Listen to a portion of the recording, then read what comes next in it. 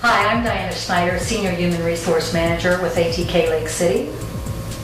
And I'm Dusty Gerbo. I'm a recent computer engineering graduate from South Dakota School of Mines Technology. ATK is a premier aerospace company uh, and defense company. Uh, At Lake City Army Ammunition Plant, we make about um, 1.4 billion rounds of small ammunition a year.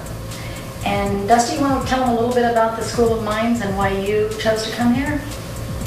Well, I chose to come to the South Dakota School of Mines for its great engineering reputation, and it's definitely what employers are looking for in graduates from engineering.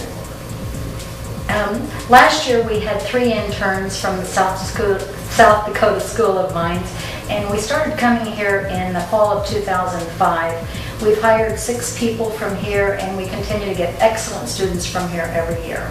Last night at the um, info session with some of the uh, professors and many of the other companies that were coming into the school for the career fair, uh, we had an opportunity to hear the uh, new president, Dr. Wharton, speak, and he spoke about how uh, from this school the engineers are the best and the brightest, and we certainly feel that way from ATK.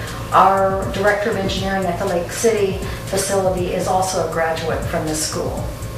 And Dustin, when did you start working there? I just graduated recently in May and accepted a job at the Lake City Army Ammunition Plant in May. And we also have, um, at the career fair with us today, we have someone from the Plymouth facility. Uh, In the armament division, we have the energetics, we have commercial. So it's a lot more than just defense, but we are the premier supplier for uh, the military and the services.